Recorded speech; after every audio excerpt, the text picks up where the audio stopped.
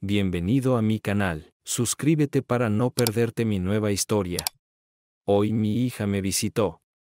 Fue desagradable para ambos, y no creo que se haya ido feliz. Oh, fue muy dulce, amable y complaciente.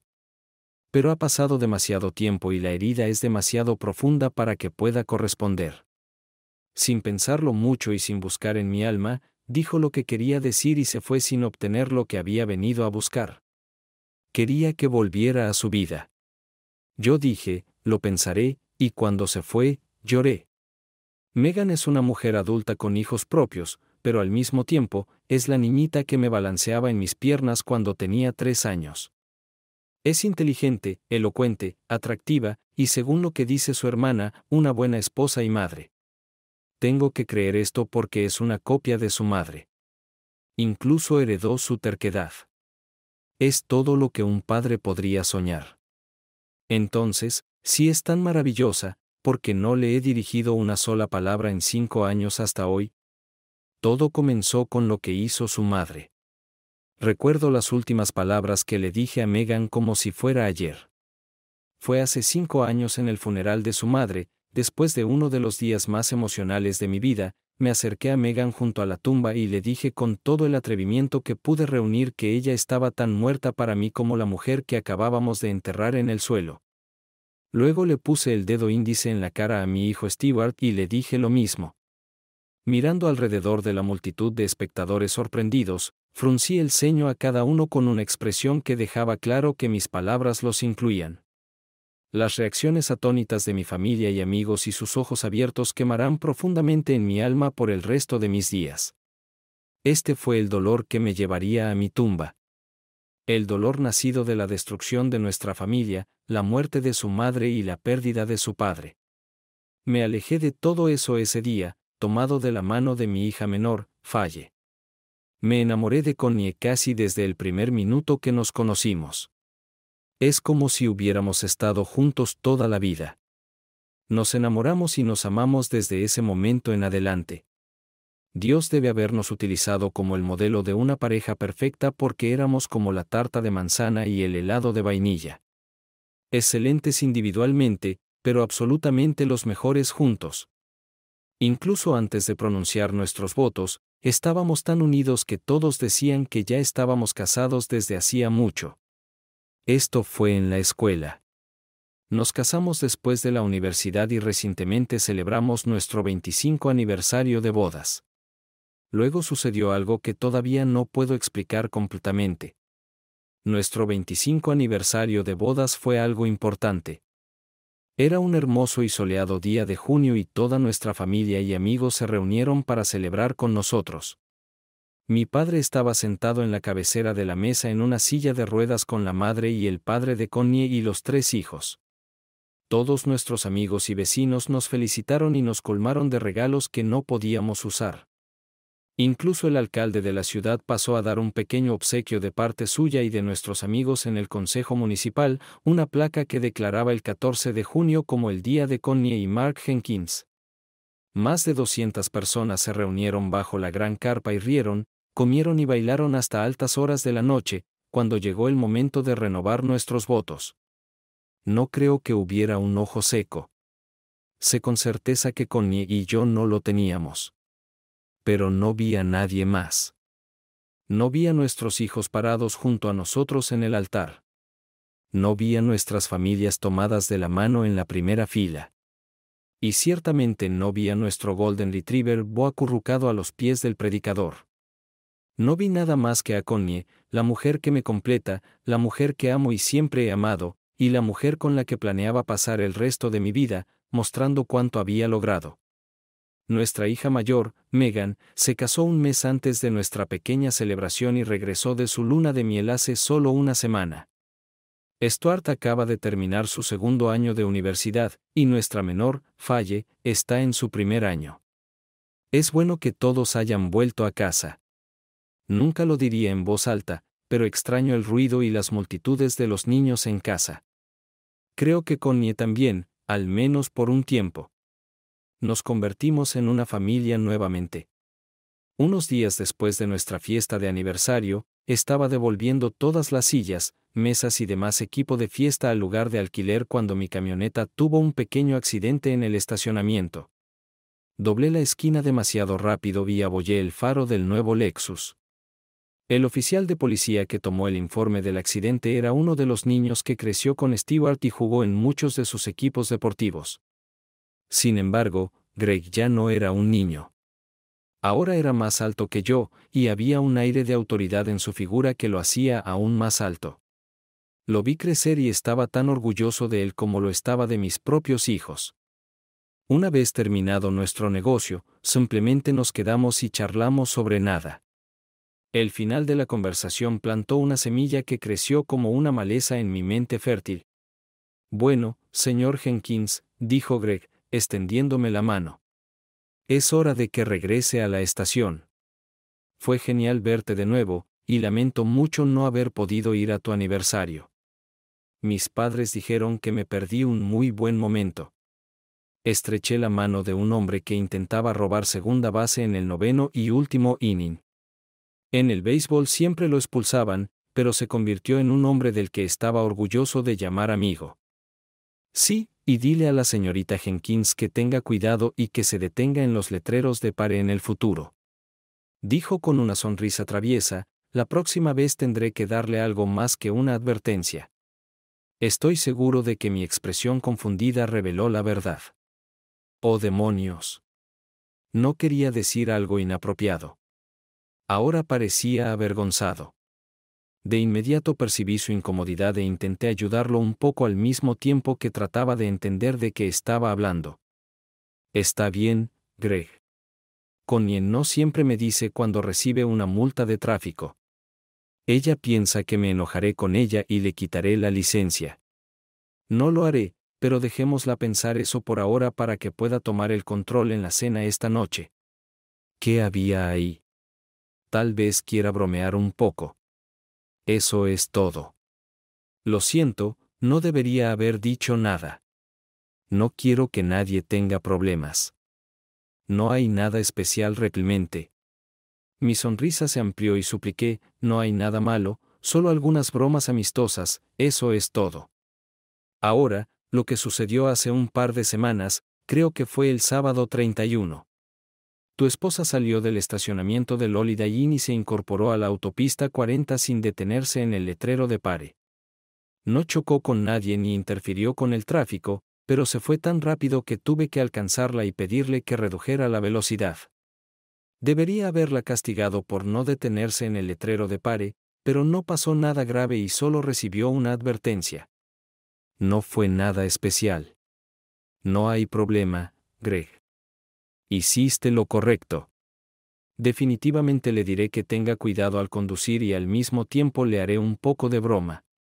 Gracias. Fue agradable verte de nuevo. Descargué las sillas y las mesas y luego me senté en el camión pensando en esa pequeña conversación que tuve con Greg hace dos semanas. El 31 para ser exactos. Estaba en la casa de mi padre durante el fin de semana ayudando con algunas cosas que ya no podía hacer por sí mismo. Esto también fue dos semanas después de la boda de Megan. Recuerdo haber llevado a mi padre al hogar de ancianos ese día para ver si finalmente quería deshacerse de la vieja casa y mudarse a algo más pequeño. Él no quería, y sabía que pasaría, pero tenía que intentarlo. Pasé todo el sábado con él y regresé a casa alrededor de las nueve del domingo por la noche. No noté nada extraño y Connie no me dijo nada sobre la advertencia de Greg. Ella dijo que pasó un día tranquilo en casa leyendo. Pensé que Greg debía haber recordado algo mal porque Connie nunca me mentiría, así que grabé sus palabras en mi mente como algo extraño e inexplicable. Aproximadamente un mes después de la fiesta de aniversario, mi hermana llamó y dijo que después de visitarlo como de costumbre una vez cada dos semanas, encontró a mi padre en el suelo de su cocina. Esa mañana se cayó y no pudo ponerse en la silla de ruedas por sí solo. Dijo que no estaba herido, solo confundido. Inmediatamente decidí quedarme con él el sábado e intentar convencerlo de que mudarse a un lugar más pequeño donde la gente pudiera estar cerca para ayudar sería lo mejor para él. Tal vez esta vez tenga suficiente miedo para escuchar. Tal vez no. Es un viejo testarudo. como Stuart y Falle ahora estaban en casa para el verano, pregunté. No, los obligué a venir conmigo, jugando con mi culpa. No han visto a abuelo por mucho tiempo y él no estará con nosotros para siempre. Aceptaron ir. Connie dijo que estaría feliz de pasar el día en silencio y estaba deseando terminar su libro. Durante el viaje de una hora en auto, Stuart me habló sobre una chica que conoció en su clase de filosofía 101 que le gustaba mucho, y Falle dijo que iba a terminar la universidad sin tener que lidiar con chicos. Después de la universidad, habrá mucho tiempo para conseguir un chico. Tuvimos una agradable discusión sobre los méritos de ambas posiciones, que inevitablemente me llevaron a compartir, probablemente por centésima vez, como su madre y yo nos conocimos y nos convertimos en pareja. Mi padre estaba más emocionado de lo que lo había visto en mucho tiempo. Mientras los niños lo abrazaban y se sentaban a escuchar sus viejas y repetidas historias. Desayunamos, hablamos y simplemente disfrutamos de la mañana.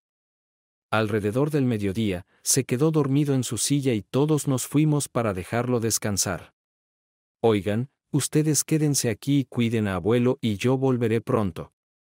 Necesito ir a buscar algo para cortar ese viejo árbol muerto en el patio trasero antes de que caiga sobre la casa. Stuart y Falle fueron a la sala de estar y vieron la televisión mientras vigilaban a su abuelo. Yo tenía la intención de ir a casa y buscar una motosierra, cuerdas y todo lo necesario para cortar este árbol. No sé por qué, pero giré hacia la carretera 40 en la parte inferior de la colina. Podía ver la entrada al Holiday Inn al otro lado de la calle y nuevamente, sin preguntarme por qué estaba haciendo esto, entré al estacionamiento del motel. Cuando me detuve y miré a mi alrededor, vi el letrero de stop en la parte inferior de la colina. Connie conducía hacia abajo y qué fácil habría sido para cualquiera, incluso para mí, no notar nada. Conduje por el estacionamiento para salir cuando vi algo que no debería estar allí. El coche de Connie. Me detuve y miré a mi alrededor para asegurarme de que no estaba imaginando nada. Sé que hay muchos Toyota Camrys plateados por ahí, pero solo uno tiene su placa especial. Estafadora. Salí, miré dentro y no vi nada inusual. Las puertas estaban cerradas con llave. No podía pensar en ninguna razón legítima por la que ella debería estar en el Holiday Inn, ya que me había dicho que quería acurrucarse y estar sola con un buen libro. Así que pensé que sería mejor ver si ella sabía dónde estaba su coche. Llamé a casa y escuché un contestador automático. Cuando llamé a su teléfono celular, ella contestó. Hola querido, ¿Cómo estás? Su voz era alegre y feliz. No sé por qué, pero mentí. Aunque nunca había hecho algo así antes. Oh, está bien. Estaba recogiendo algunas cosas en el supermercado para mi papá y decidí llamarte. Llamé a casa y como no contestaste, decidí llamar a mi móvil. ¿Dónde estás? Estoy en el centro comercial terminé de leer el libro y decidí ir de compras. ¿Te importa? Vaya, ella acababa de mentirme. Bueno, al menos eso es lo que creo. No, solo no gastes dinero del fondo de tus hijos en la universidad. ¿A qué hora estarás en casa? Probablemente alrededor de las seis. ¿Quieres que cocine la cena? No, no creo que tenga hambre. Estoy empezando a sentirme mal. Así que puedo quedarme con papá hoy y enviar a los niños a casa. Te avisaré. Bueno, está bien. Solo llámame cuando decidas, dijo tristemente. Ah, por cierto, ¿fuiste al centro comercial solo o con alguien? pregunté, esperando no escuchar otra mentira. Estoy conduciendo y sola. Llegué aquí hace solo unos minutos y, ¿qué? Solo preguntaba. Bueno. Bueno, tengo que irme. Que te diviertas. Y no dejes que Greg te atrape nuevamente por no detenerte en el letrero de pare en el Holiday cuando te vayas hoy. Adiós. Colgué y esperé. No sabía qué esperar, pero definitivamente no era eso lo que sucedió. Escuché un grito amortiguado desde la dirección del hotel. Miré a mi alrededor pero no vi nada, especialmente la fuente del grito. Me senté en el capó del Camry de Connie y miré a mi alrededor. Unos minutos más tarde llegó un coche de policía y Greg salió. Hola, señor Jenkins, llamó al 911. Uh, no, Greg, no lo hice. Bueno, alguien llamó y dijo que alguien estaba intentando robar un coche en el estacionamiento. Mejor voy a entrar al edificio y hablar con el gerente. Greg, ¿puedes hacerme un favor? Por supuesto, señor Jenkins. Lo que sea. Cuando entres al edificio, pregunta si la señora Jenkins está allí y con quién está. Estaré allí mismo.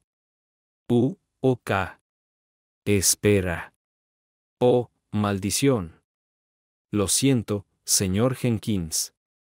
Volveré pronto. Descubriré qué está pasando. Volveré y hablaré contigo. Lo siento mucho. Se metió en el coche y se dirigió hacia la entrada. Esperé y esperé, pero no pasó nada. Finalmente se escuchó una sirena a lo lejos. Se acercaba cada vez más y finalmente se detuvo. Cuando llegó a la entrada del motel, los paramédicos salieron unos minutos después. Cargaron a alguien en el asiento trasero y se fueron. Greg salió, se acercó y se me acercó con la mirada más triste que jamás había visto en su rostro. Lo siento mucho, señor Jenkins. Hubo un pequeño problema adentro. Una ambulancia llevó a su esposa al hospital del condado. Parece que estaba tratando de escapar a través de la puerta corrediza de vidrio. La puerta no se rompió, pero ella resultó gravemente herida. Había un corte en un ojo y estaba histérica. El caballero que estaba con ella se fue cuando la ambulancia partió. Tengo su nombre, dirección y declaración de lo sucedido. Lamento no poder darle esta información, pero puede venir a la comisaría mañana y completar un formulario de la Ley de Libertad de Información y obtenerla. Repito, lamento mucho que esto haya sucedido. Si me tendió la mano para estrecharla, pero todo lo que pude hacer fue mirarla. Las lágrimas aparecieron solo después de que él se marchó. No sé cómo lo hice, pero conduje de vuelta a la casa de mi papá y me quedé parado en la entrada, sin saber qué camino tomar. Cuando Falle me vio, sintió que algo andaba mal y salió corriendo. Me preguntó qué había pasado, pero estaba demasiado aturdido para hablar. Ella hablaba más y más alto hasta que me derrumbé y lloré frente a ella. Nunca había llorado frente a mis hijos. Ella también comenzó a llorar al ver a su padre desmoronarse frente a ella. Cuando Stuart salió, les dije entre lágrimas que su madre estaba en el hospital y que debían ir a ayudarla. No dije nada más ni les conté lo que acababa de vivir, pero en cuestión de segundos estaban en el coche y listos para irse. Lancé las llaves a Stuart y le dije que no iba. Me quedaré aquí esta noche. Me miraron como si fuera una serpiente de tres cabezas, pero de todos modos se fueron. Me aseguré de que mi papá estuviera bien antes de desplomarme en el sofá, sintiendo que mi corazón latía fuera de mi pecho. Solo miré el suelo y lloré. Papá salió en su silla de ruedas y se detuvo junto a mí. ¿Qué pasó, Mark? ¿Qué te preocupa? Nunca pude hablar con mi padre sobre temas íntimos. Es un padre tradicional y siempre mantuvo sus emociones bajo control y creo que yo era muy parecido a él. Siempre que tenía problemas de niño, él simplemente decía, compórtate como un hombre y todo estará bien. Medio esperaba el mismo consejo esta vez, así que no dije nada. Pero él entendió todo. Déjame contarte una pequeña historia sobre tu madre y yo. Algo que nunca te he contado ni a ti ni a tu hermana ni a nadie más. Justo después de que nacieras, empecé a tener problemas con la ley. Robé algo del trabajo. Tu madre quería ese elegante vestido rojo, y no tenía dinero para comprárselo. Así que robé el instrumento y lo vendí. Al final me atraparon, pagué a la empresa, pero aún así me despidieron y luego me entregaron a la policía. Las autoridades me dieron un periodo de prueba por un año. Esta fue la parte fácil. Tu madre estaba más enojada conmigo de lo que había estado en toda su vida. Probablemente estaba muy decepcionada de mí por lo que hice. Esto dañó mucho nuestro matrimonio. Ella estuvo fría conmigo durante mucho tiempo. Un día llegó a casa y dijo que tal vez me había encontrado un nuevo trabajo al lado de donde ella trabajaba y que podría ir allí por la mañana para una entrevista. Luego me abrazó, me miró directamente a los ojos y dijo que me perdonaba, hijo. Me perdonó por casi arruinar nuestro matrimonio. Dejó de lado su orgullo y me dejó volver a su corazón. Desde ese día hasta su muerte, nunca hice nada de lo que ella no estuviera orgullosa me convertí en una mejor persona porque tu madre me amaba. Por supuesto, ella estuvo herida por un tiempo, pero era una mejor persona que yo, y lo superamos. Mark, no sé qué pasó, pero parece que estás en la misma situación que yo. Tal vez necesites perdón, y tal vez necesites ser perdonado como lo hizo tu madre. Pero tal vez lo que sucedió no pueda ser perdonado. Sea cual sea el problema, sé en mi corazón que harás lo correcto y lo inteligente. Solo espero que todo te vaya bien. Puede que no te lo haya dicho a menudo, pero estoy muy orgulloso del hombre en el que te has convertido. Y te quiero mucho. Colocó su vieja mano artrítica sobre la mía y bajó la cabeza en silenciosa oración. Al terminar, se volvió tranquilamente y se dirigió hacia el dormitorio. Me quedé sentado en el sofá hasta que el sol desapareció bajo el horizonte. El teléfono sonó por la noche, pero no contesté. Lo mismo sucedió con mi teléfono móvil. Los escuché porque no dormí en toda la noche. Solo me acurruqué en el viejo sofá de mi papá y escuché los grillos afuera de la ventana. La mañana debería ser un nuevo comienzo. Ayer se fue y hoy es un nuevo día pero aún me parecía que estaba al borde de un abismo. Después de preparar el desayuno para mi papá, salí al patio trasero solo y subí a la motoneta. Alrededor del mediodía, sentí una mano en mi hombro. Oye, papá, ¿estás bien? preguntó Fay, mirándome con ojos rojos y cansados. Fay se sentó a mi lado y me rodeó el cuello con los brazos como si tuviera tres años otra vez. Ella también lloraba. Nos quedamos allí hasta que fue hora de hablar. No quería decir nada porque no estaba seguro de poder hacerlo sin romper a llorar, así que dejé que Fay empezara. Papá, mamá está bien. Tiene una conmoción cerebral, cuatro puntos en un ojo, la nariz rota y varios moretones, pero se recuperará físicamente. Emocionalmente, es un desastre. El médico le da algo para ayudarla a relajarse y dormir, pero se despierta gritando tu nombre y todo comienza de nuevo. Megan apareció en el hospital, así que todos estuvimos allí para ella. Mamá no hizo más que preguntar por qué no estabas allí y lloró. Papá, nos contó lo que pasó y lo que hizo. Probablemente ya sepas todo, así que no repetiré lo que nos dijo. Quiero que sepas que estaba terriblemente enojada con ella. Dije que era lo peor que se le podía hacer a otra persona, especialmente a alguien a quien dijo que amaba. Dije que la odio. Ella. Espera un minuto, chica, interrumpí enojado. Nunca digas que odias a tu madre. Ella te ama y tú la amas. Ella hizo algo mal, y tengo que averiguar qué hacer al respecto. Papá, te engañó. Te mintió a ti y a nosotros no merece nuestro amor. Lo que hizo no importa. Es tu madre. Sí, es mi madre, pero también es tu esposa. ¿Todavía la amas después de lo que hizo? Guardé silencio por mucho tiempo, tratando de asimilar mentalmente mi nuevo mundo. No lo sé. Todavía estoy en shock. Necesito controlar mis emociones y pensamientos antes de decir o hacer algo. Ahora mismo no puedo pensar porque mi corazón duele tanto. No sé qué hacer. Papá, siempre estaré aquí. Sea lo que sea que decidas, te apoyaré. Puede que no esté de acuerdo con tu decisión, pero estaré ahí para ti. Te quiero, papá. Nos abrazamos y lloramos y finalmente nos sentamos viendo al colibrí volar de un lado a otro entre las malvas y el viejo roble, cada uno perdido en sus propios pensamientos. Pasé el fin de semana con mi papá y hablé por teléfono con Megan y Stuart. Me negué a hablar con Connie cuando me preguntaron. No estaba listo para que ella me viera o escuchara mis palabras en este estado. Cuando llegó el lunes por la mañana, llamé al trabajo y le dije a mi jefe que tenía problemas familiares y necesitaba un par de días libres. Pasé los siguientes tres días sentado en el patio trasero, sumido en mis penas. Falle no se separó de mi lado. Creo que estaba preocupada por lo que haría. Me senté en el patio trasero y pensé en lo bien que Connie y yo habíamos tenido los últimos 25 años. No todo era perfecto, como en cualquier matrimonio, pero los buenos momentos superaban con creces a los malos. No tenía detalles de lo que ella estaba haciendo.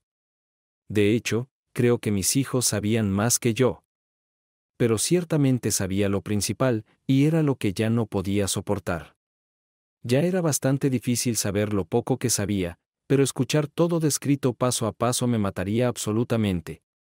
El almuerzo que Falle me trajo permaneció intocado en la mesa junto al rollo de toallas de papel que usaba para secar mis lágrimas. Habían pasado dos días desde que mi mundo había sido puesto patas arriba, pero ahora no estaba más claro en mi pensamiento que ayer o el día anterior. Hola, Mark. Una voz familiar estalló mi burbuja de pensamientos y nuevamente desató un torbellino de emociones. Sin voltear, murmuré, Hola, Connie. Permanecí inmóvil y observé cómo ella tomaba una silla frente a mí. No sabía cómo me veía, pero sí me veía la mitad de mal que ella, mi próximo destino sería la morgue. Lo siento, Mark, dijo, mirando sus manos. Siempre habían sido hermosas y fuertes, como todo lo demás en ella, pero ahora una de ellas estaba cubierta con un gran hematoma y la otra con un gran vendaje en la parte posterior. Cuando miré por primera vez su rostro, vi un terrible vendaje que cruzaba en medio de su cara, manteniendo unidos los huesos rotos de su nariz. Un gran vendaje de gasa sobre un ojo ocultaba la ceja y las suturas debajo. El otro ojo estaba rodeado por un horrible moretón negro y naranja. Se veía, como Fay lo llamaba, como un desastre de tren. Solía ser tan hermosa, pero ahora se ha vuelto tan fea. No sé cuánto de mi opinión sobre su apariencia se debía a mi corazón roto o si realmente se había vuelto fea. Mark, vine aquí para disculparme. Sé que una disculpa no es suficiente para arreglar las cosas, pero es todo lo que tengo. Megan me trajo aquí porque aún estaba demasiado alterada para conducir. Necesitaba verte, hablar contigo y que entendieras lo que hice. Lo que te hice. A nosotros. Mark, yo la regué, no tú. No hiciste nada malo. No mereces nada de esto. No importa cuánto te haya lastimado, siento el mismo dolor, si no más, porque yo fui quien lo hizo. El dolor fue autoinfligido y puede haber destruido algo que significa más para mí que la vida misma. Mark, quiero contarte lo que sucedió y tal vez. No, no quiero escuchar nada de ti incluso lo que se ahora me está destrozando por dentro. Si escucho algo más, simplemente me matarás. No digas nada, por favor. Pero, Mark, si descubres lo que sucedió, entonces tal vez haya una oportunidad de que me perdones. Mark, no quiero perderte. Te amo. Y necesitas entender por qué fui débil y hice lo que hice. Todo comenzó. No, Maldición. Te dije que no quiero escuchar nada. Pero, Mark, tienes que escucharme. Esta es la única forma en que puedo. No. Podemos superar esto. La única forma en que podemos sanar y ser una familia de nuevo. Por favor, Mark, solo escucha. Dije que no. Me levanté y me fui, dejándola sollozando entre mis manos amoratadas. Papá, por favor, escúchala, dijo Megan, acercándose a mí mientras entraba en la cocina. Ella necesita que la escuches y la perdones. Ella necesita contarte lo que hizo y disculparse para que pueda superar esto. Me giré, miré a mi hija mayor y escupí las palabras que me llevaron por el camino que finalmente me llevaría a mi perdición. Megan, si crees que escuchar su historia arreglará todo, entonces estás aún más equivocada que ella. Si realmente necesita aliviar su conciencia, puede escribir sobre ello en una carta y enviármela. No voy a sentarme aquí y escuchar sus excusas de por qué abandonó un matrimonio de 25 años y me destruyó en el proceso. No puedo estar cerca de ella ahora. No tengo la fuerza para perdonarla. Me subí al coche y me alejé a toda velocidad, sin saber a dónde iba, cuando o si volvería. No lloré mucho mientras conducía porque la mayoría de mis lágrimas terminaron en los ladrillos del patio de mi papá. Ahora solo necesitaba alejarme y pensar. Cuando volví al día siguiente a casa de mi papá, Falle me recibió en la puerta con una sonrisa y un abrazo. En ese momento, necesitaba esa sonrisa más que cualquier cosa en el mundo. Ella me dijo que con toda la infelicidad en el mundo, alguien aún puede ser feliz. Ella me dio esperanza de que algún día volvería a poder sonreír. Pero no me dijo si lo que decidí hacer haría sonreír a alguien más. Papá también estaba feliz de verme. Mientras nos sentábamos a cenar, le conté a mi padre y a mi hija sobre mi futuro. Papá, he decidido mudarme aquí por un tiempo para vivir contigo. Necesito alejarme del trabajo, y tú necesitas mi ayuda con la cocina y la limpieza. Y créeme, Papá, he probado suficiente de tu cocina como para saber que necesitas a alguien que pueda cocinarte algo más que solo tocino y huevos. Falle, ¿puedes ayudarme a conseguir algunas cosas de la casa? No puedo ir allí mientras tu madre esté allí. Y también necesito algunas cosas para trabajar aquí. Puedes decirle a todos que viviré aquí hasta que encuentre una solución más permanente. Por ahora, solo di que tu madre y yo hemos roto no entres en detalles. Déjalo así. De acuerdo, papá. Volveré esta noche y conseguiré lo que necesitas. Solo haz una lista. ¿Quieres que diga algo a mamá? Solo dile que viviré aquí y no la dejes llamarme cuando esté listo. La llamaré yo mismo. Le di mi lista y pasé la tarde discutiendo nuestros nuevos arreglos de vida con papá. Por la expresión en su rostro, me di cuenta de que estaba contento con mi regreso a casa, pero también preocupado por la razón de ello. No mencionó a Connie ni los eventos de los últimos días. Incluso hicimos algo que no habíamos hecho en muchos años, jugar a las damas. Por supuesto, él ganó. Cuando Fay regresó con mis cosas, me sorprendió ver el auto tan lleno. También tomé mis cosas, dijo firmemente, me quedaré en la habitación de invitados y viviré aquí hasta que comiencen las clases. Tenía una expresión dura, muy dura en su rostro mientras ayudaba a descargar nuestras cosas. Más tarde esa noche, le pregunté qué había pasado. La cara de Falle se contorsionó mientras comenzaba a hablar. ¿Puedes creer lo que dijo mi hermana? Básicamente dijo que estaba siendo infantil y que deberías ir a casa y hacer las paces con tu mamá. Y Stuart fue igual de malo. Básicamente dijo que en algún momento de la vida, todos engañan a la persona que aman. No hay problema, dijo. Dijo que deberías simplemente perdonar a tu mamá e ir y conseguirte una novia tú mismo. ¿Puedes creer lo que dijeron estos dos? Idiotas. Bueno, ya sabes, falle, papá, no estoy de humor para escuchar esto no hiciste nada malo y ahora estás sentada en la casa de tu abuelo y todos piensan que eres mala. Fue mamá quien arruinó todo. No merece perdón. Esta es una de las razones por las que estoy aquí.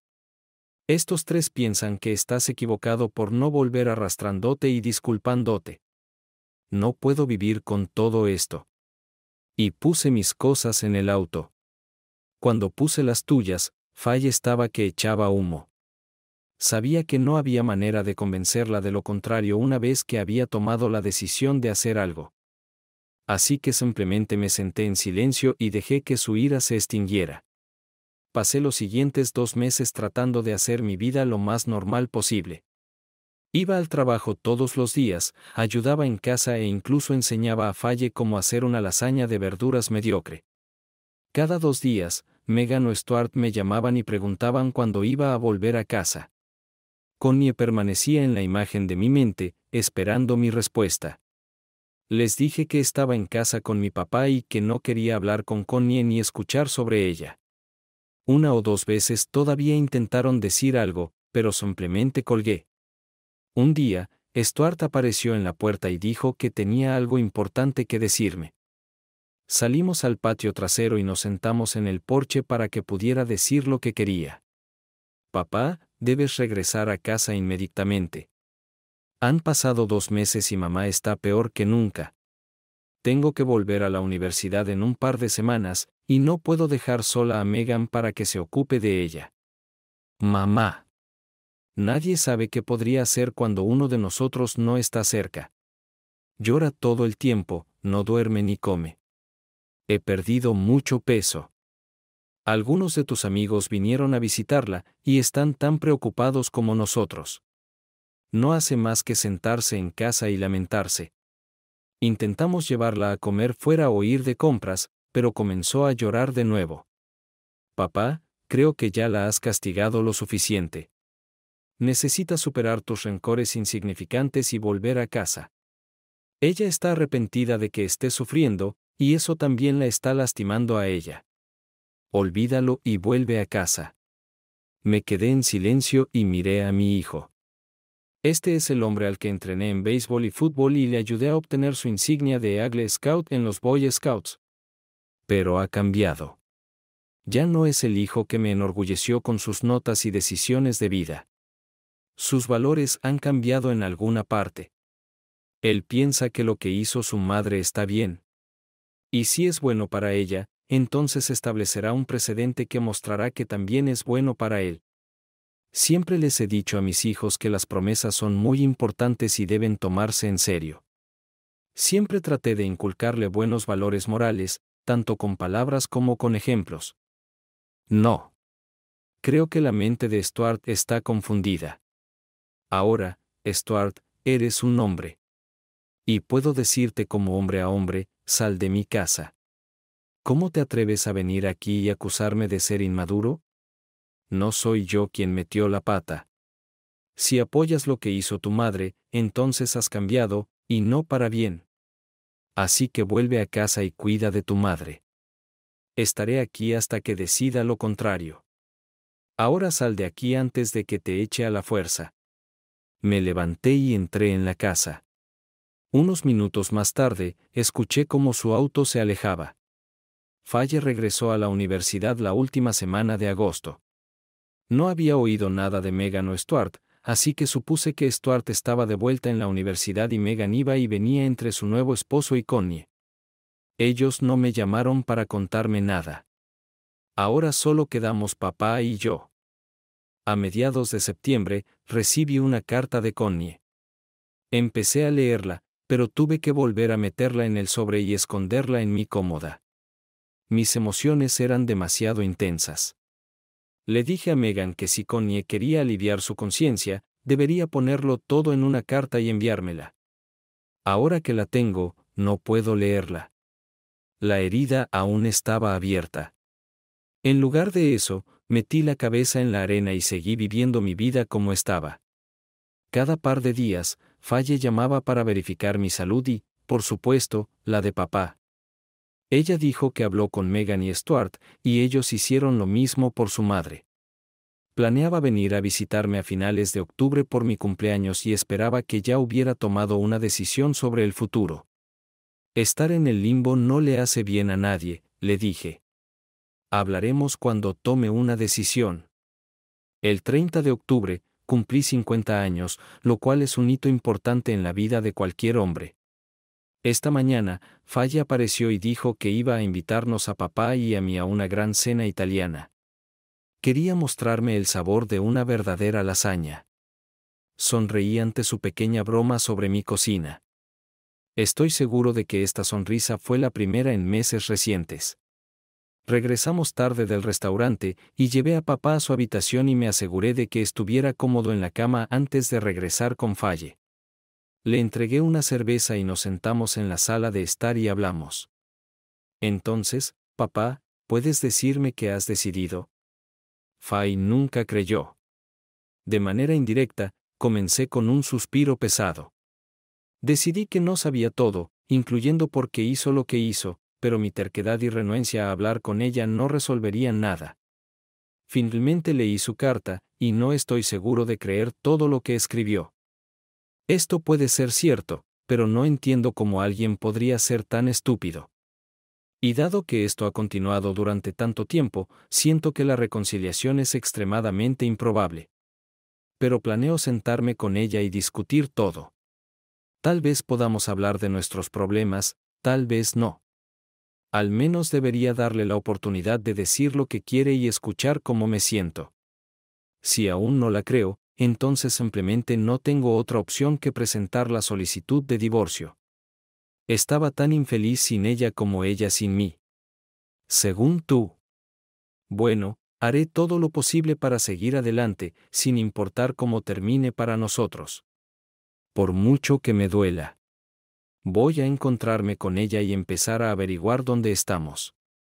La llamaré mañana. Y mi discurso planeado fue interrumpido por el teléfono celular de Fay. Todavía no había terminado, pero de todos modos la dejé contestar. Es Megan, dijo, mirando la pantalla del teléfono. Saldré afuera. Se levantó y salió a la fría noche. Cinco minutos después, volvió con los ojos más grandes en forma de platillo y el rostro más pálido y fantasmal que he visto. Me miró, miró el suelo, la foto sobre la repisa, su teléfono celular, y luego se arrojó en mis brazos, sollozando incontrolablemente. Lloró en mi hombro mientras la abrazaba fuertemente, esperando que pasara lo que fuera que le causara tanto tormento.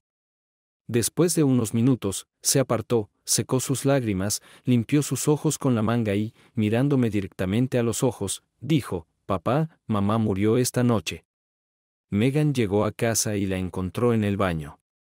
Parece que se tragó una botella de pastillas que el médico le dio para ayudarla a dormir. Megan no me dijo nada más. Todo en el mundo dejó de existir. Escuché lo que dijo, pero mi cerebro no funcionaba la muerte no estaba registrada. No podía entender. No podía ver, escuchar ni sentir. ¿Connie está muerta? Estoy preparándome para el funeral de la única mujer que he amado en los últimos 25 años, la mujer que significaba más para mí que cualquier cosa, la madre de mis hijos. Y, sin embargo, lidiar con la mujer que tenía un amante a mis espaldas era una tarea hercúlea. Siempre que estaba con mis hijos, intentaba parecer estoico y reservado, pero todos sabían que apenas podía controlarme. Por la noche, me sentaba en mi patio trasero y miraba el columpio que no se había usado en 15 años y pensaba en Megan, Stewart y Falle, que estaban creciendo y correteaban como una manada de animales salvajes con su madre corriendo detrás de ellos. Miraba los arbustos de azalea que Connie y yo plantamos después de mudarnos y pensaba en los buenos tiempos, los picnics, las reuniones de amigos y los momentos en que hacíamos el amor bajo las estrellas. Saber que ella estaba en mi vida me hacía sentir cálido y cómodo. Ahora me sentía frío y solo. También tenía muchos sentimientos no resueltos con los que lidiar. La pregunta no resuelta más grande era cuánta responsabilidad tenía yo en que Connie se tragara esas pastillas para dormir. No las puse en sus manos ni la obligué a tragarlas, pero maldita sea, ayudé a crear su estado emocional depresivo al negarme a hablar con ella. Yo sufría, y quería que ella también sufriera. La amaba tanto. Y ella probablemente hizo la única cosa en nuestro matrimonio que podría destruirme más rápido una vez que descubrí que ella era mi esposa, mi amor. Y la amaba más que cualquier otra cosa en el mundo. El hecho de que se entregara a otra persona me destruyó. Y ahora, tal vez, yo la destruí. Nunca quise que muriera. Solo quería que sintiera lo que yo sentía. Tal vez lo hizo y no pudo vivir consigo misma. Ahora nunca lo sabré con certeza. Lo único que sé con certeza es que hizo algo malo y arruinó nuestro matrimonio. Y yo hice algo igualmente malo y arruiné el suyo. Ambos estábamos equivocados. Que el Señor tenga misericordia de nuestras almas. Mañana será el funeral de Connie, y la veré por última vez. Tenía que mantener mis emociones bajo control. Tenía que ver las caras de todos nuestros amigos y familiares. Tenía que decir adiós. Tenía que no romperme. Me di la vuelta cuando escuché que la puerta principal se cerraba de golpe, y unos segundos después un coche rugió por la calle. Megan se acercó a mí desde la puerta trasera. Papá, ¿estás bien? Susurró Megan, sentándose en el diván opuesto a mí. No, para nada. Nos sentamos en silencio, recogiendo nuestros pensamientos, escuchando el susurro de las hojas caídas en el viento nocturno. Megan me miró y dijo, sabes que nada de esto habría sucedido si simplemente hubieras regresado a casa y la hubieras perdonado. Ella cometió un error. Estoy seguro de que tú también cometiste errores por los que ella te perdonó. Ella dijo que no podía vivir sin ti. Tu orgullo la mató. Me quedé en silencio con la boca abierta. Mi propia hija me culpaba de la muerte de mi esposa. No sé cuántas veces he dicho o pensado esto, pero yo no hice nada malo. No fui yo quien tuvo el afer. No fui yo quien mintió a mis amigos y familiares durante seis meses. No fui yo quien comenzó a tomar pastillas para dormir para aliviar mi culpa y papá, mañana será un día largo y difícil. Luego todos serán invitados a la casa, y probablemente habrá mucha gente aquí no tienes que hacer nada. Ni siquiera tienes que estar aquí si no quieres. Stuart y algunos amigos de mamá me ayudarán con la comida y otras cosas, así que no tienes que preocuparte por eso ahora. Megan ni siquiera quería que fuera al funeral. ¿Qué demonios está pasando? Tal vez estaba tan emocional y estresado que malinterpreté lo que ella estaba diciendo. Una cosa de la que estaba seguro era que no quería entrar en confrontación con mi hija en vísperas del funeral de su madre. Me levanté, entré en la casa y bajé a la sala de estar donde dormía.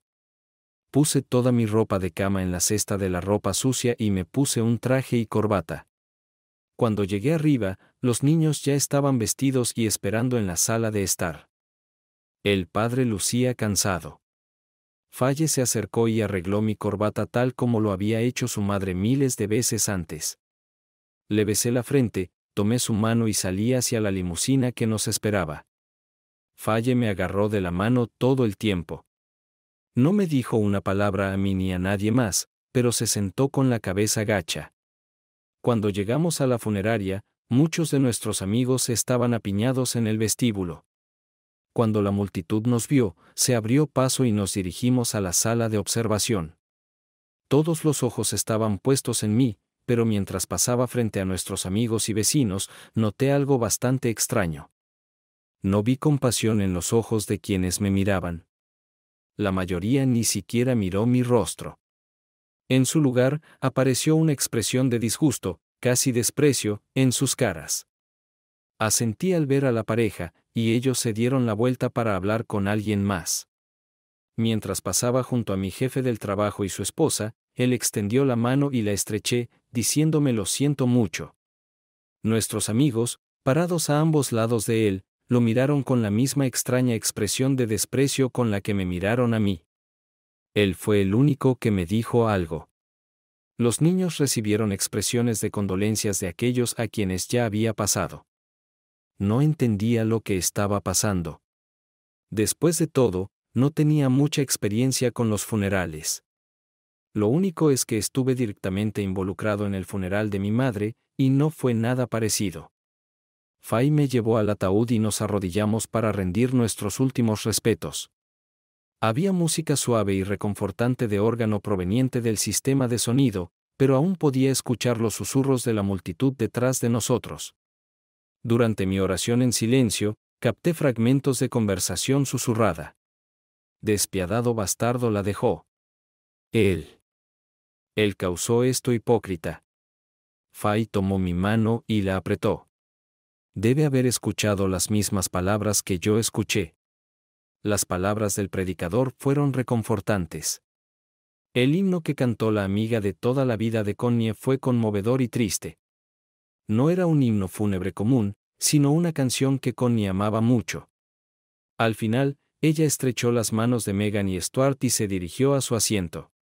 Me pareció extraño que no dijera nada ni a mí ni a Falle cuando el predicador preguntó si alguien tenía algo que decir. Varios amigos se dirigieron a la multitud. Megan se levantó por último y habló sobre la misericordia y el perdón, como Jesús perdonó a aquellos que lo clavaron en la cruz, y cómo deberíamos ser tan amables con los demás como Él lo fue. Normalmente no soy tan lento, pero sentado aquí escuchando a mi hija predicar sobre el perdón, lo entendí. Finalmente, entendí todo. Cuando nos acercamos a la tumba, el viento era frío y cortante. Todos permanecieron en silencio, escuchando las últimas palabras del predicador. Al final del servicio, el sacerdote nos dio a cada uno una rosa roja para colocarla en el ataúd cuando nos fuéramos, fui el primero, seguido por Falle, Megan y Stuart. Un viejo amigo del trabajo de su padre lo empujó más allá del ataúd. Fue uno de los días más emocionales de mi vida. Me acerqué para detener a Megan y Stuart antes de que nos alejáramos de la tumba. Con toda la bilis de la que era capaz, dije lo que estaba hirviendo en mi corazón.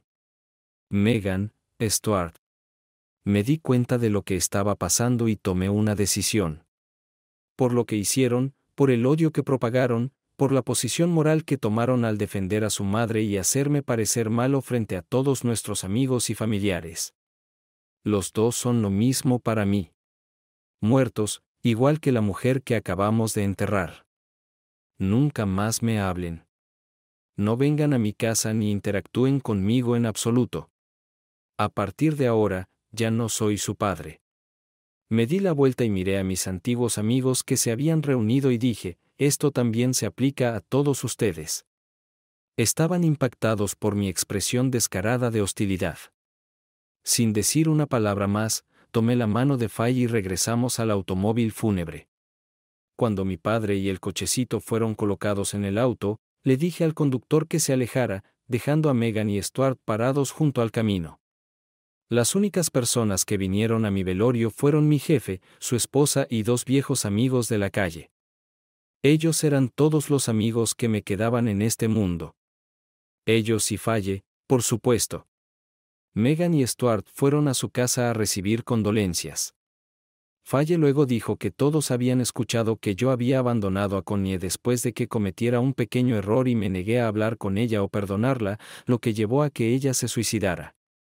En otras palabras, todos sabían que yo había matado a mi esposa. Fay regresó a la universidad, dejándome solo y sin amigos. Cuando regresaba entre semestres y en las vacaciones de primavera, era como encender una luz en una habitación oscura y sombría. Megan se quedó con su esposo y su familia mientras que Stuart regresó a la universidad. Entre semestres, él hacía otras cosas. Lo único que tenía sentido era concentrarse en el trabajo e intentar olvidar el dolor del pasado. Eso no era fácil. Dos o tres veces por semana, me despertaba en medio de la noche esperando a Connie en la cama a mi lado o con la imagen aterradora de ella y John Jeblansky divirtiéndose en su habitación en el Holiday Inn. Ella me dijo en una carta que su amante era nuestro antiguo vecino. Hace unos dos años, él y su esposa se mudaron al otro lado de la ciudad. El tiempo pasó y el dolor se volvió más fácil de sobrellevar. Megan dio a luz a una niña y la nombró Connie. Un año después, dio a luz a un niñito al que llamó Chance en honor al padre de su esposo. No vi a mis nietos. Stuart se casó con la chica de sus sueños, de la que me había hablado en la universidad. Recibí una invitación a su boda pero no fui. Dos años después, ella solicitó el divorcio. Aparentemente, siguió el ejemplo de su madre y engañó a su propia esposa. Dijo que todos engañan en algún momento, y creo que fue esta actitud distorsionada la que llevó a su divorcio. Se mudó a California, y no lo he visto desde el funeral. Sé todo esto porque Falle insertaba pequeños detalles de información en la conversación. En cada oportunidad. Ella quería que estuviera al tanto, porque por muy equivocados que estuvieran, todavía son mis hijos. Mi mejor amigo en todo el mundo era mi jefe en el trabajo. Él ayudaba cuando necesitaba hablar y miraba hacia otro lado cuando estaba demasiado enfermo para trabajar.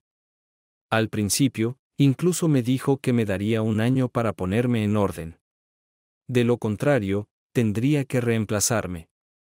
Este pequeño discurso me motivó a convertirme en el mejor gerente de la empresa, tan bueno que me ofrecieron un puesto de gerente senior en Florida. Cuatro años en mi nueva vida. En tres meses, vendí mi casa, mudé todo a una casa nueva, mucho más pequeña en Orlando, y comencé a dirigir un centro de distribución en todo el este de Estados Unidos. Perdí a todos mis amigos en Maryland. Solo un par de personas podían hablar conmigo, y mucho menos invitarme a algún lugar. Todo no era igual que antes, y todos menos unos pocos me dieron la espalda y me dejaron solo, era persona non grata e invisible para todos. Falle se graduó con honores y consiguió un emocionante puesto de gerencia de nivel de entrada en uno de los lugares de entretenimiento más grandes de Florida.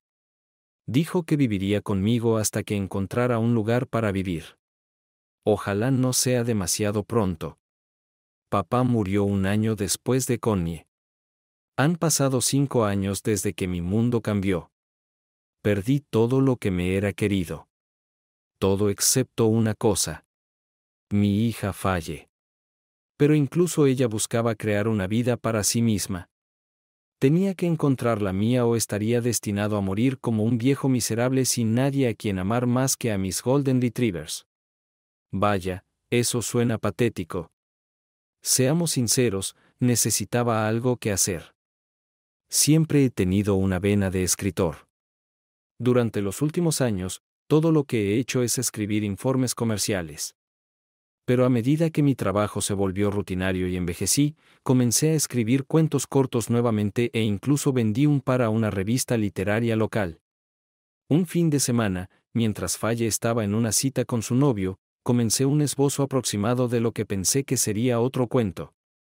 Se convirtió en un esquema para una historia sobre una parte particularmente difícil de mi vida y terminó siendo mucho más que un cuento corto. Pensé mucho en cómo empezarlo porque sabía que traería recuerdos y emociones del pasado que preferirían permanecer dormidos en los oscuros rincones de mi mente. Una noche, comencé a escribirlo cuatro meses después, trabajando todas las tardes después de mi trabajo diario.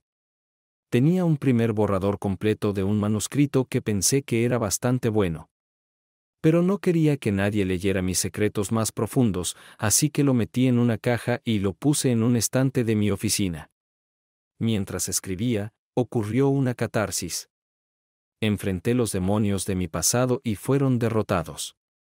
Descubrí que podía empezar a vivir de nuevo. Me inscribí en una clase de escritura creativa en un colegio local con la esperanza de mejorar mis habilidades de escritura. Mayormente, había niños de 20 años que no podían distinguir un adverbio de un adjetivo. Había otros dos ancianos en la clase, igual que yo. Así que nos unimos para mostrar a la juventud de América, o al menos a la juventud del condado de Orange, Florida, cómo escribir bien. Maurice se había retirado y planeaba escribir un libro sobre el papel de su familia en la guerra civil.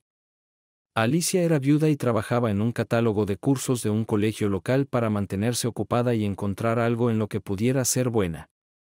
Crió a cinco hijos como ama de casa, y cuando todos se fueron, se retiró silenciosamente y se mudó a Florida, utilizando el dinero del seguro que recibió cuando murió su esposo como capital semilla para una nueva vida. Cuanto más hablaba Alicia y yo, más encontrábamos en común. Aprendí desde temprano a dejar que la chica con la que salía hablara y escuchara cuidadosamente todo lo que decía porque siempre había preguntas de seguimiento después. No había salido en casi 30 años, así que tuve que prestar mucha atención a ella. Ella hablaba y yo tomaba notas. Es decir, notas mentales. Un día se dio cuenta de que era la única que hablaba y me preguntó de dónde era y por qué. Vivía solo en el centro de Florida e iba a un colegio local. Le di la versión 30 minutos más corta e intenté volver la conversación hacia ella, pero no lo hizo. Me preguntó una y otra vez hasta que finalmente le dije que mi historia era difícil de contar y si quería saber de mí, debería venir a mi casa a cenar el próximo sábado. Me dio la sonrisa más grande y hermosa que había visto en años y dijo que sí, con gusto. La cena fue maravillosa, Mark, dijo Alicia mientras salíamos al patio para disfrutar del aire nocturno bajo una de mis palmeras. Conozco a pocos hombres que incluso sepan cocinar lasaña de verduras, y mucho menos una tan buena como esta. ¿Qué otras sorpresas tienes bajo la manga? Creo que casi sabes todo sobre mí. Administro el centro de distribución de Fox Industries en el lado este. Mi hija Falle vive conmigo y amablemente aceptó irse esta noche. Mi esposa murió hace un poco más de cinco años. Tengo otros dos hijos y conociste a mis dos Golden Retrievers, Bo y Luke. Eso es todo en pocas palabras. Y así que estoy aburrido. No hay nada interesante que contar. Bueno, me sobornaste diciendo que si quería conocer tu historia, me la contarías. Vamos, estoy esperando todos los detalles sangrientos. En lugar de decir algo, me levanté y entré en la casa. Cuando regresé, tenía una caja en mis manos con mi novela. Una novela sobre los eventos más importantes de mi vida. No lo sabes, pero he estado escribiendo durante muchos años e incluso vendí un par de historias a una revista literaria local. Tengo una computadora llena de historias, algunas basadas en mi historia de vida, y otras simplemente surgieron de mi retorcida mente. Antes de inscribirme en un curso de escritura creativa, escribí algo que no estaba seguro de qué hacer con él. Una triste historia sobre mí y mi familia, todo aquí en esta pequeña caja. Escribir esto me ayudó a superar el dolor que sentí cuando murió mi esposa y mi familia se desmoronó. Nunca se lo he mostrado a nadie antes, pero me gustaría conocer tu opinión. Creo que solo sirve para mantener la puerta abierta en noches ventosas. Pero realmente me gustaría escuchar a alguien cuyo trabajo admiro. Ella me miró con ojos llenos de admiración. Leeré tu libro con gusto. ¿Cómo se llama? Lo llamé, Amigos de Conveniencia. Wow, es muy pesado, dijo, tomando la caja de mis manos. Solo 987 páginas. Quiero que me digas qué piensas. Sé honesto, brutal si es necesario, pero quiero que alguien que no sea yo comente sobre él. No quiero mostrárselo a mi hija porque pasó por todo lo que escribí y solo traería viejos sentimientos de nuevo. No quiero lastimarla. Mark, estaré encantado de leer tu novela y expresar mi opinión. Una cosa que tal vez olvidé decirte es que soy muy seguro de mí mismo. Digo las cosas como son y dejo que las fichas caigan donde caigan, o como dice ese viejo cliché. Empezaré mañana.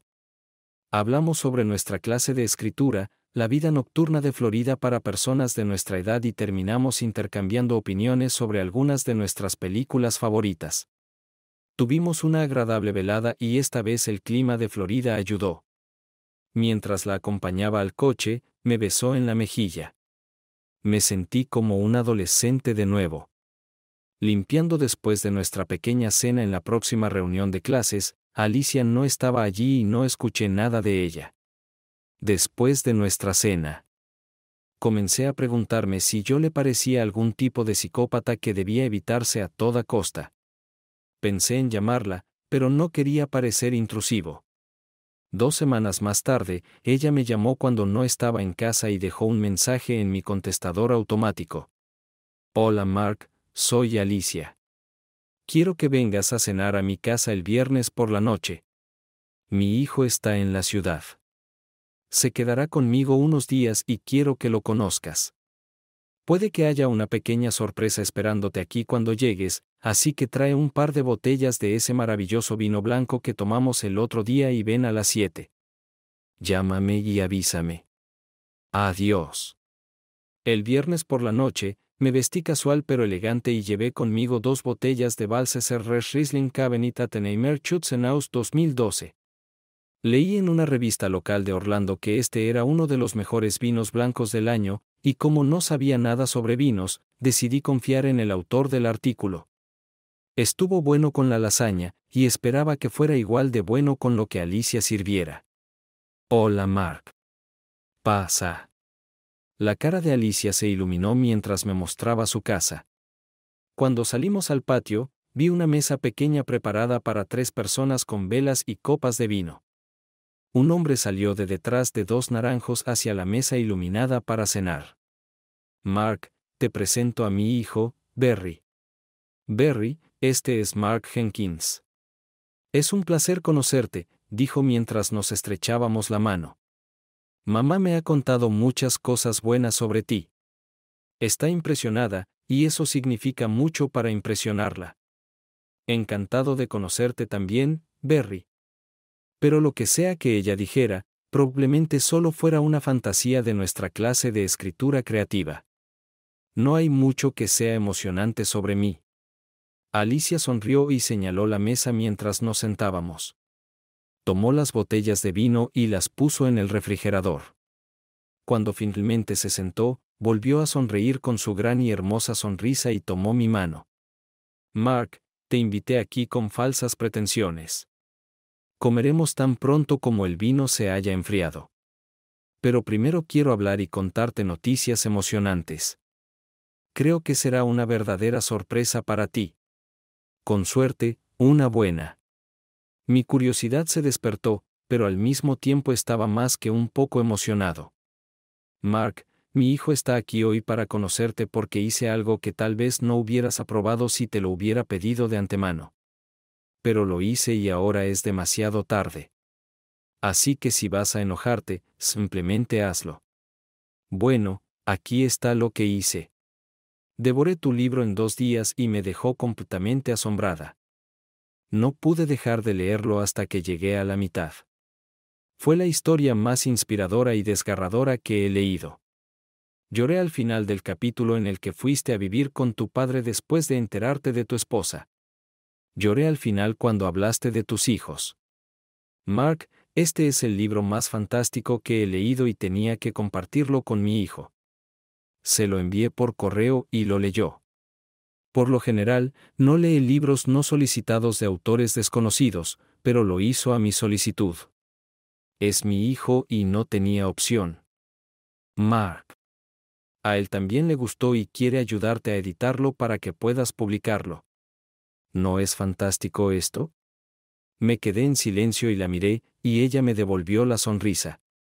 No sabía qué decir o hacer. Probablemente me veía bastante tonto, pero no pude evitarlo.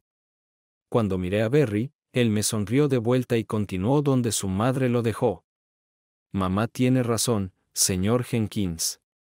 Esta es la mejor primera novela que he leído, y he leído muchas. Verás, trabajo en Prentice Press en Nueva York y soy el subdirector a cargo de seleccionar los envíos de autores como tú. Recibimos alrededor de 100 libros nuevos al mes, y tengo que leer y calificar todos antes de enviarlos para otras dos evaluaciones. Si todos estamos de acuerdo en que lo que leímos es digno de ser publicado, trabajamos con el autor para que su manuscrito sea editado y preparado para su publicación.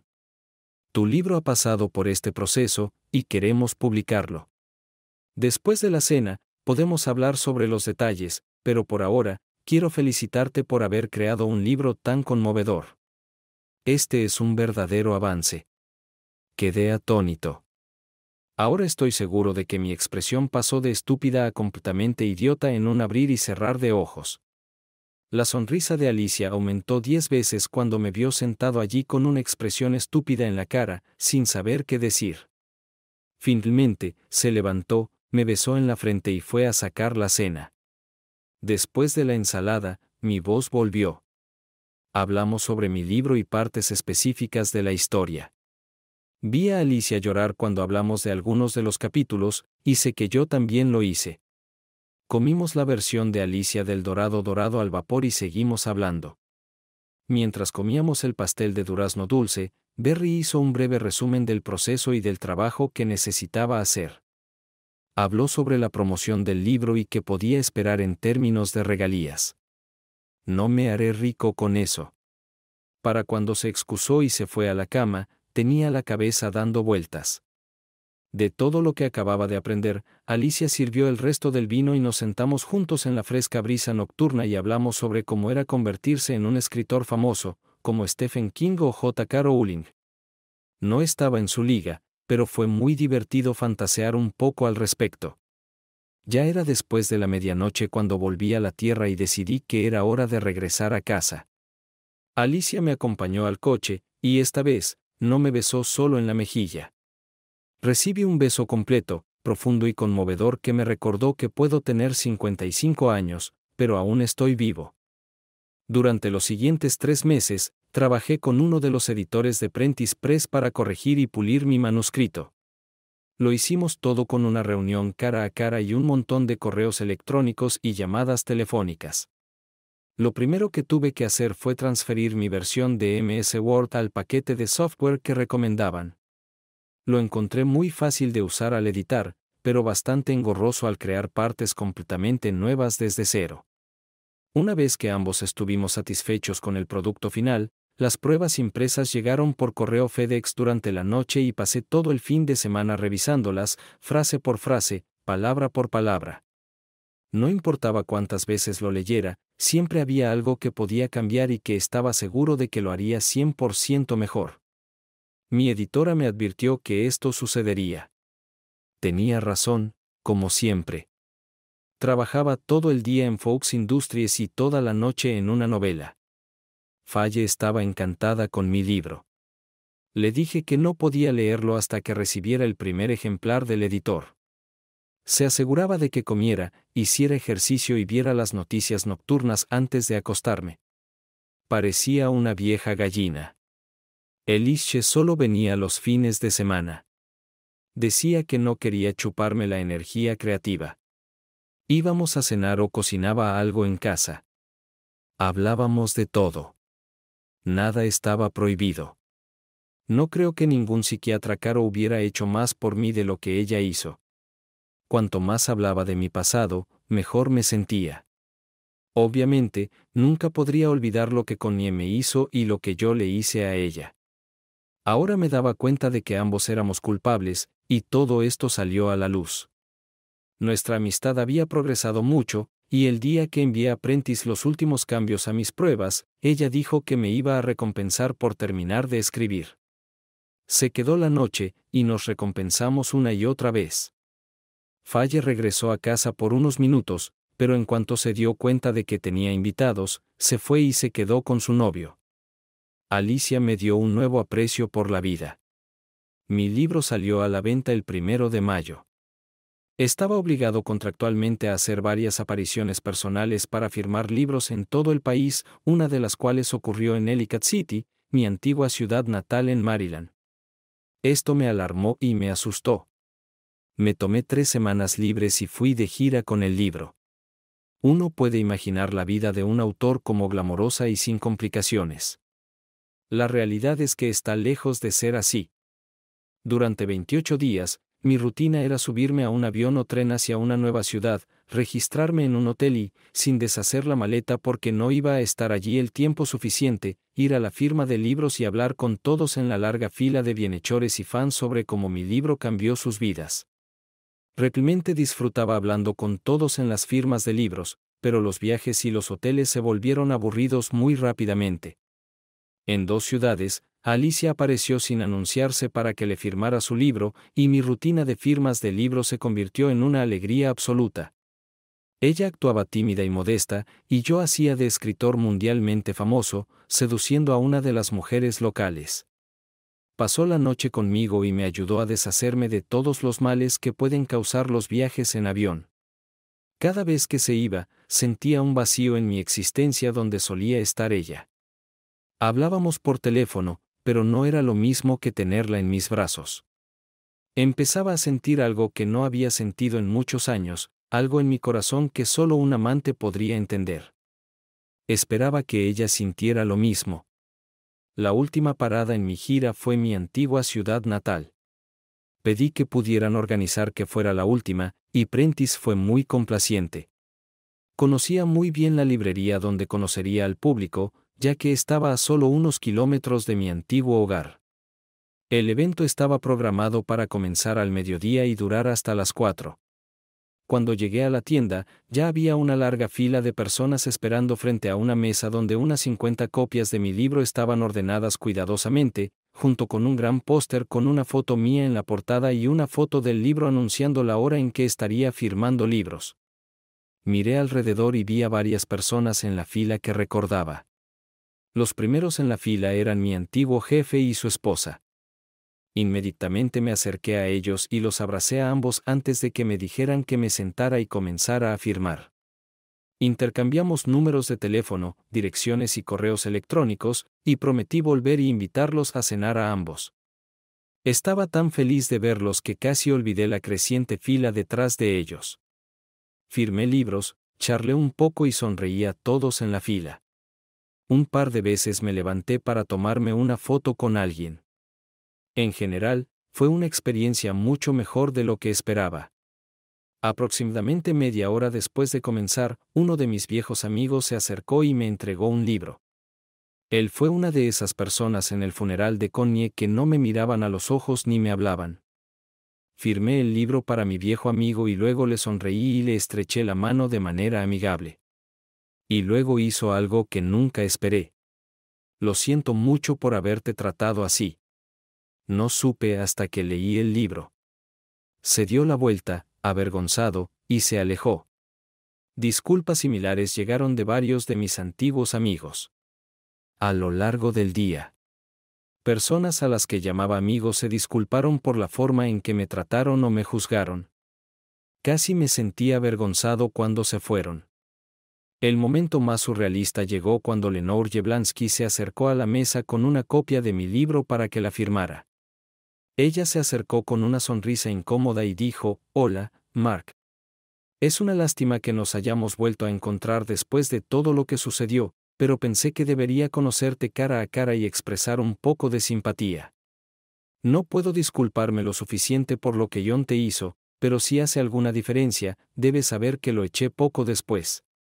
Bueno, después de que Connie muriera. Hemos estado divorciados durante cuatro años y estoy comprometida con un contratista en Annapolis. Oh, y por si acaso escuchaste algo, había rumores en la ciudad de que estabas buscando a John para vengarte del dolor que causó.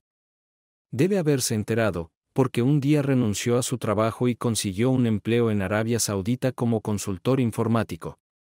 No lo he visto desde entonces, y sí, empecé este rumor. Ella se paró frente a la mesa, sonriendo y extendiendo un libro. No sabía qué hacer ni qué decir. Después de un minuto de silencio, durante el cual simplemente nos miramos, tomé el libro y firmé, Lenoure, amiga, no solo en buen tiempo. Espero que algunas de las palabras de mi libro te ayuden a encontrar tu propia liberación como yo encontré la mía. Gracias por escuchar. Di la vuelta a la mesa y nos abrazamos durante un minuto antes de que ella se fuera. Al final del tiempo designado, todavía había una fila frente a la mesa. Miré hacia arriba y me sorprendí mucho. Megan estaba parada en una de las estanterías de libros y me miraba. No se acercó, no dijo nada y parecía completamente deprimida. Cuando levanté la vista después de firmar otro libro, ya no estaba. Me levanté y miré a mi alrededor, pero ya había desaparecido. Falle fue la última en la fila. Nos abrazamos y charlamos un rato. Mientras me acompañaba a su coche, me llevó de vuelta al hotel. Y no, no era el Holiday Inn. Y nos sentamos en el coche un rato, hablando de Alicia. A Falle le gustaba, y esperaba que a mí también. Cuando le dije que creía que estaba enamorado de ella, se abrazó a mi cuello y empezó a llorar. Por casualidad, justo cuando me estaba abrazando, un coche de policía se detuvo y encendió sus luces. El sargento Greg salió del coche y golpeó en la ventana. Una vez que todos nos conocimos, fue como en los viejos tiempos. Charlamos, nos reímos, nos abrazamos, y le conté qué estaba haciendo en la ciudad. No había leído mi libro, así que tomé uno mío y se lo firmé. Escribí en el libro, COVID, Greg, sabes que cambiaste mi vida. Sin rencores. Alguien tenía que hacerlo. Greg se fue por una llamada, y Falle y yo salimos a cenar. En general, volver a donde todo comenzó no fue tan traumático como esperaba. Fue un gran shock ver a Megan parada al otro lado de mi puerta, Alicia y yo acabábamos de desayunar y estábamos hablando de la última lista de los más vendidos del New York Times y de cómo, Amigos en tiempos buenos, ahora ocupa el tercer lugar en el género de no ficción. Pero todo esto desapareció en el olvido cuando vi a mi hija. Hola, papá. ¿Cómo estás? Megan preguntó con un toque de vergüenza en su voz. Hola, Megan. Estoy bien. ¿En qué puedo ayudarte? Solo estaba por la zona y decidí pasar a verte y ver cómo estás. Esta área está a 900 millas de la tuya, Megan. Un poco fuera de tu camino, ¿no? Sentí una mano en mi hombro y me volteé para ver a Alicia. ¿Quieres presentarme, Mark? Preguntó con un tono de mando en su voz. Alicia, esta es mi hija, Megan. Alicia pasó junto a mí y abrazó a Megan fuertemente.